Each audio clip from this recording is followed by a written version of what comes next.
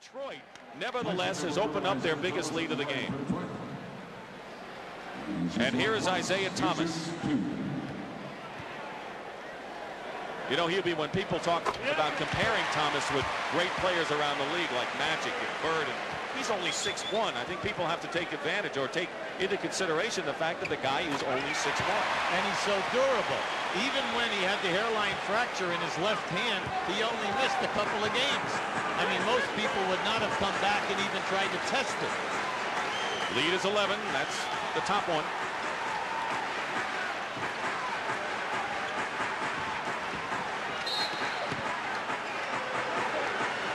And a Detroit foul. That'll, both teams are in the penalty. And it's on Laimbeer, his second foul. No one on Detroit has three personal fouls as of yet. Kareem Abdul-Jabbar, Michael Cooper, and Orlando Woolridge all have three for the Lakers. Well, you see Kareem sitting here. Between he and Mychal Thompson during the course of the season, you know, the Lakers are getting 20 points and right around 10 rebounds out of that position. Now, when you think about it, that's a nice distribution because their main three guys are Magic Johnson, Worthy, and Scott. So for that intangible position, 20 points and 10 rebounds, kind of powerful. Pick and roll, Laimbeer. He has been struggling in the playoffs. He has not been shooting well. Yet here the Pistons are in game one trying to win their first title. Worthy. Magic, two-man game. There it is. They got Salley to go in the air and they drew the foul and Worthy will shoot a pair. See, a great player like James Worthy is always in the top percentage shooters in the league. Well, he will grasp what the defense is doing and then give you more moves.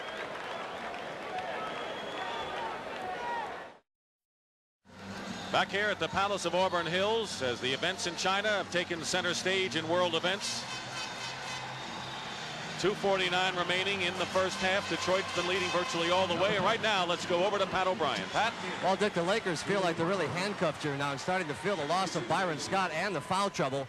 Riley and his coaching staff are feeling a little handcuffed. There's also some talk that the Lakers might be just a little sluggish, contrary to what they thought before. So we'll keep an eye on that for you. Back to the table. All right, Pat, you know, they worked very hard in Santa Barbara, California. Certainly a picturesque place, not for working hard, but they did during that long layoff as Detroit and Chicago went to six games of the series. And, you know, Hubie, I don't care what anyone says, uh, not playing an opponent during that time has to take something out of you, and I think it shows in game one. Well, the coaching staff was uh, extremely happy with the effort that they had. They only had one day of double sessions, worked very hard the other days, and they felt that they were ready.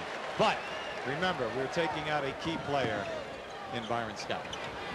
Dumars, top of the key, puts a fake on Campbell. And the rebound by Green. So the Lakers, despite the fact that they've been looking uphill throughout this first half, can trail by only five if they score here. Campbell trying to post up against Isiah Thomas. Eight on the shot clock. Campbell. Rebound by Dumars. They had a pick and roll. Campbell didn't see it.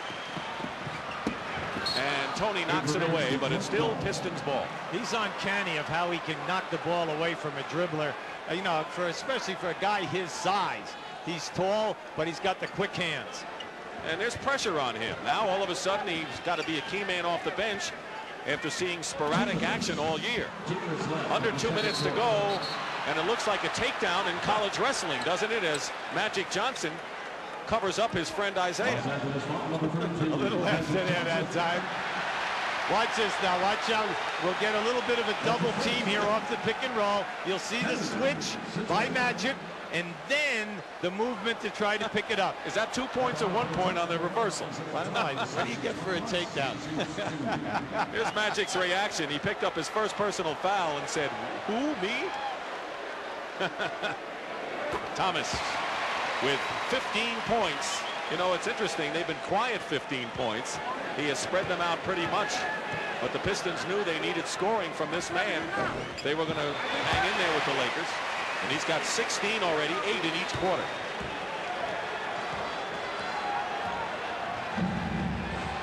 Just under two minutes to go in the first half. Double team on Magic.